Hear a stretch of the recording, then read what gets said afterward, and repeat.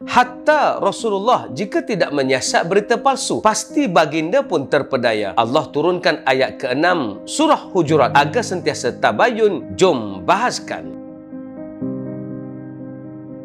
Assalamualaikum. Kini anda boleh menyumbang secara berkala melalui Infak Pay dengan link yang disediakan. Terima kasih. Dalam Musnad Ahmad ada diceritakan satu hadis berkenaan Haris bin Abi Dirat Al-Khuzai. Haris telah memeluk Islam di tangan baginda sallallahu alaihi wasallam. Setelah menganut Islam, Nabi menyerunya untuk menunaikan zakat. Dia menerima seruan itu. Dia berkata kepada Rasulullah, "Arji'u ila qaumi fa'ad'uhum ila al-Islam wa ada'iz zakah." Aku akan kembali kepada kaumku dan akan menyeru mereka kepada Islam dan supaya menunaikan zakat. Faman istajaba li jama'tu zakat tahu fayursilu ilayya Rasulullah sallallahu alaihi wasallam rasula. Siapa yang menerima akan aku kumpulkan zakat dan nanti kau utuskan kepadaku amil. Yang akan mengambil zakat. Setelah Islam dia dan kaumnya mengumpulkan zakat. Namun amil yang dijanjikan tidak sampai ke perkampungannya. Ini menyebabkan Haris merasakan seperti Allah dan Rasul murka kepadanya. Menyebabkan Haris mengambil tindakan mengajak kaumnya keluar membawa zakat mereka untuk dihantar kepada Rasulullah. Sedang Sedangkan Rasulullah telah melantik Walid bin Uqbah untuk memungut zakat dari kabilah Bani Mustalik itu. Namun setelah Walid pergi untuk melaksanakan tugasnya, di tengah jalan dia telah berpatah balik dan tidak meneruskan perjalanannya kerana takut dengan Bani Mustalik. Dia lalu mendatangi Rasulullah dan menyatakan, Ya Rasulullah, innal haritha mana'ani zakah wa arada qatli. Ya Rasulullah, Haris enggan mengeluarkan zakat dan ingin membunuhku. Mendengar ucapan itu, Rasulullah pun mengutuskan utusan utusan untuk pergi bertemu dengan Haris. Dalam pertengahan perjalanan utusan itu bertemu dengan Haris dan kaumnya. Haris pun bertanya, "Ila man bu'ithtum?" Kamu semua diutuskan untuk bertemu siapa? Mereka menjawab bahawa kami diutuskan Rasul untuk bertemu kamu wahai Haris. Ini kerana kamu enggan membayar zakat dan cuba membunuh utusan zakat baginda. Haris menyatakan, "La wallazi ba'atha Muhammadan bil haqq